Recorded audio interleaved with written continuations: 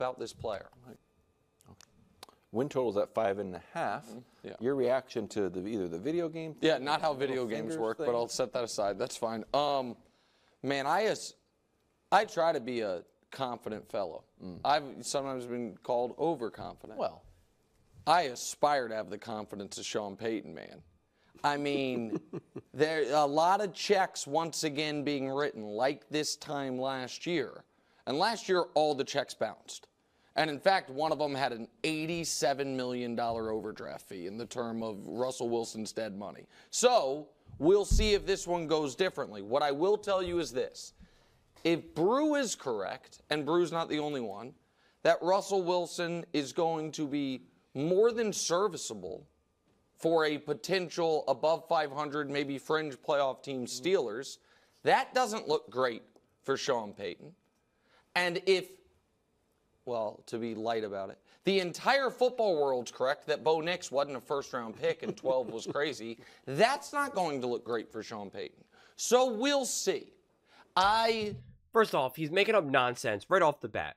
Right off the bat, he's making up nonsense because the entire football world doesn't say that Bo Nix is not good. So I don't know what he's talking about. That's nonsense right there. Number one.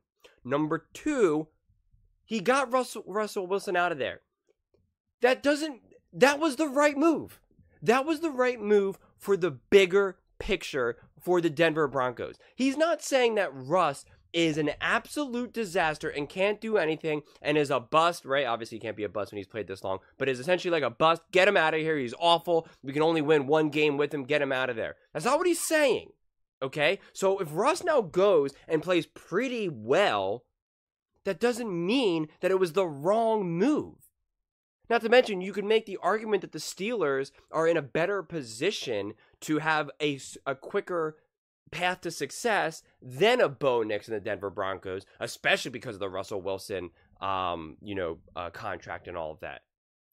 Alex Smith left the left the Chiefs and was still able to play well. You know, he obviously got injured, but play well, good enough. Does that mean that the Kansas City Chiefs were wrong to move on from Alex Smith and get Patrick Mahomes?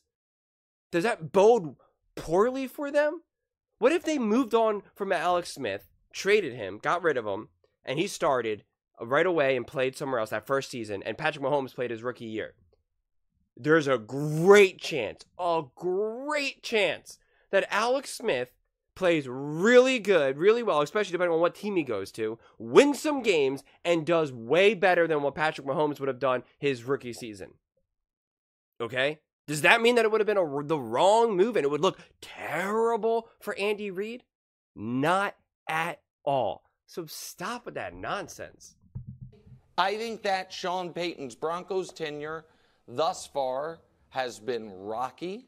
And I think that he now they did win eight games and they had won five the year before, so you give credit for that. And mm-hmm. there's the and they rebounded from the 70 piece they gave up. I get so I'm trying to be fair, but You're not being fair. he was brought there to fix the quarterback situation.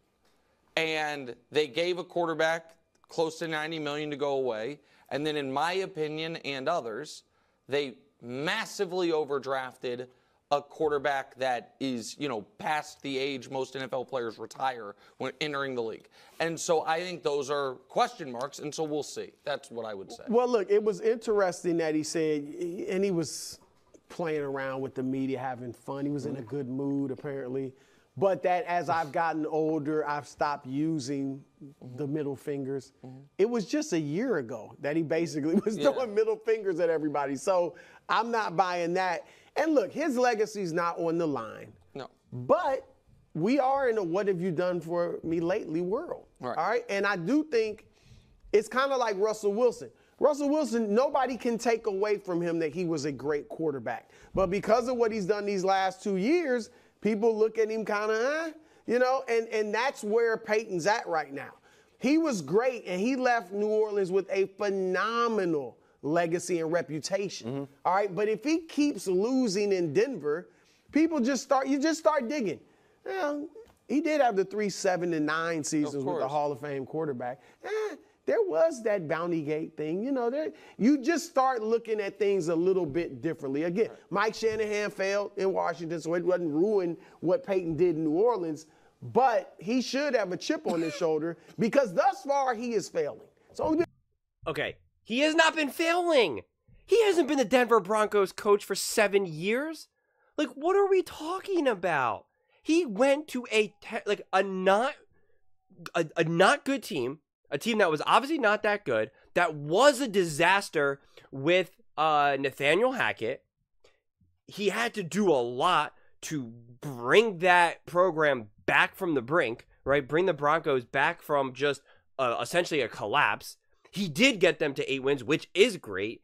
He did do it with a quarterback that a lot of people think is washed. So that's what's that's what's funny because Nick is now saying, well, a lot of people believe this and a lot of people believe that. A lot of people believe that Russell Wilson is not that good of a quarterback anymore. Nick Wright himself included. He literally thinks that Justin Fields is going to be the starting quarterback for the Pittsburgh Steelers over Russell Wilson. So you tell me, if Justin Fields is going to beat out Russell Wilson, why do you think Russell Wilson should be the starting quarterback for the Denver Broncos? Make that make sense. You can't make it make sense. You only want to say that because you want to talk bad about the Broncos, about Sean Payton, and Bo Nix. And that also now brings me back to Bo Nix.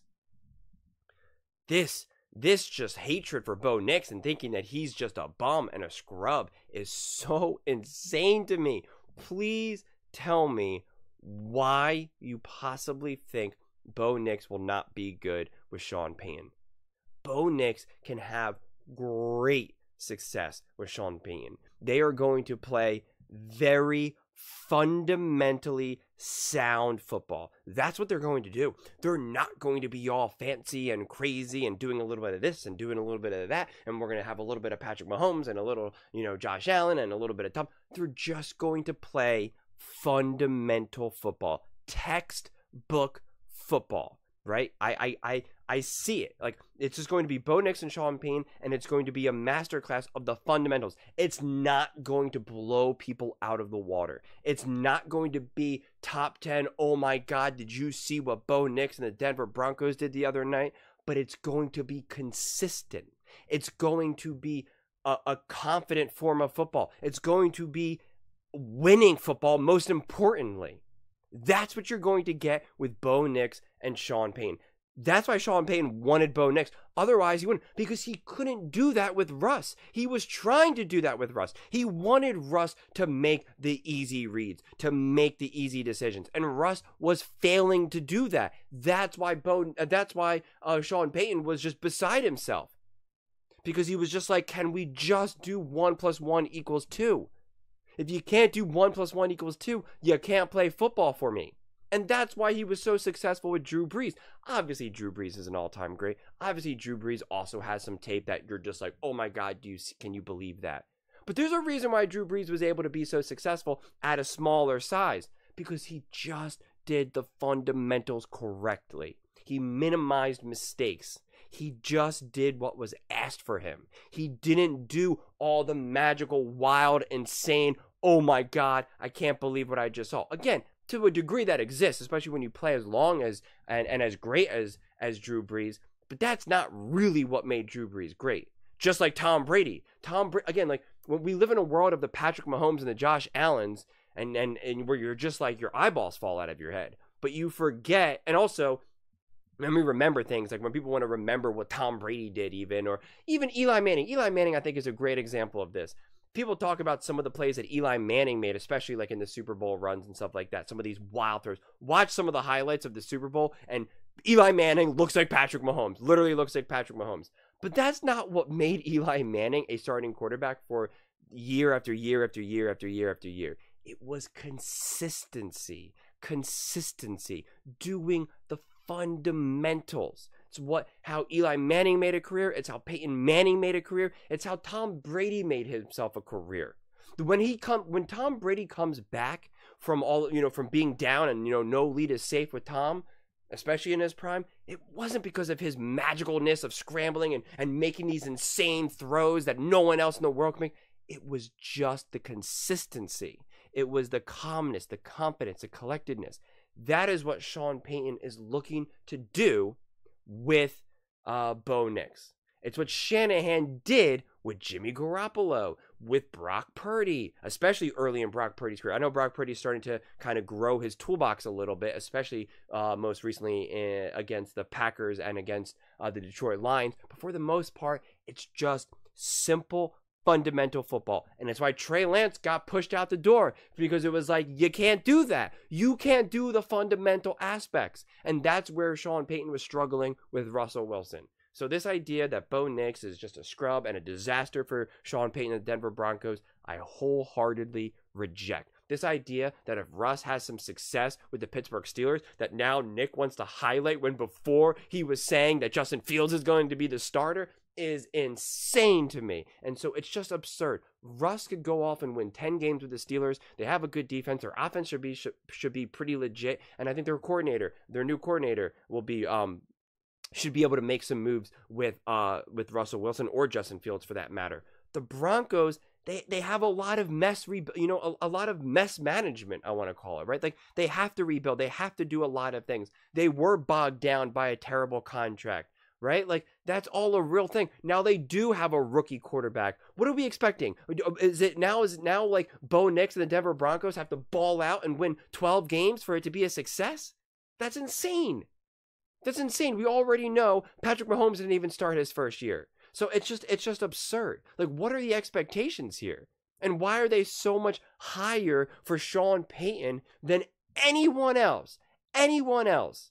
Doesn't make any sense to me. He actually improved the Broncos. The Broncos were like a five win team. He got them to eight. He was actually fighting for a playoff spot, quite frankly. And yet that's seen as a failure? and, and and he wanted to move on from Russ, and that's seen as a failure, makes no sense to me. No wonder why he said what he said. But those are just my thoughts. I would absolutely love to hear yours. What do you guys all think about Nick's opinion on Sean Payton being a failure and too confident, and Bo Nix being a terrible quarterback, and Russ apparently is going to be a you know the MVP and Super Bowl MVP with the Pittsburgh Steelers? Let me know in the comments below. I read every single comment, so whether you agree with me or disagree with me, either way, let's get in some discussions, let's get in some fights, but ultimately, let's just have some fun. And please do consider subscribing. We are building an amazing community here, and I would absolutely love to see you part of it. I'm going to build something that we all genuinely feel connected to, something that we're really excited to be part of, and I think we're well on our way to doing it. And please don't forget to give this video a thumbs up as it really does help with the visibility and the algorithm. Thank you so much, and see you next time.